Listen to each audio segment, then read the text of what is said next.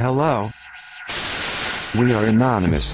If you have not heard about our brothers and sisters on Wall Street, we are currently experiencing our own Tahrir Square moment. However, this is not enough.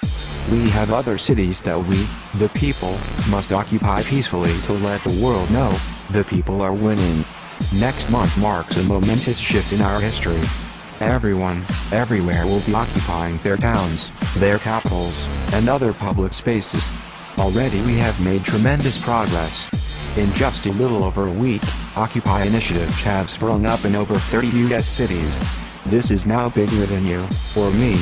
It is about us, a collective 99% that will no longer stand for the corruption, greed, and inequality that is rampant within our governing bodies. Spread this message like the plague. On this memorable occasion, we will carry forth our own passive resistance against the machine which keeps us down. On this day, we will occupy LA, with it bringing the wave of resistance to the West Coast. This is part of a global movement.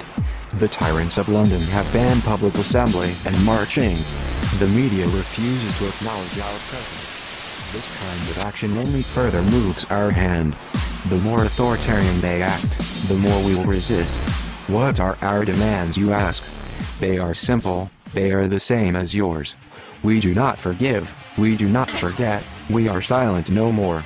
Chicago, Cleveland, Columbus, Indiana, Indianapolis, Madison, Kansas City, Michigan, Minnesota, Oklahoma City, Omaha, St. Louis, Stillwater, Tulsa, Youngstown, Binghamton, Boston, D.C., New Jersey, Philadelphia, Vermont, Atlanta, Lexington, Mississippi, Nashville, New Orleans, Orlando, Tampa, Dallas, Houston, Phoenix, Denver, Las Vegas, Olympia, Portland, Sacramento, San Diego, San Francisco, San Jose, Seattle and Los Angeles. We are everywhere, we are legion, we are anonymous.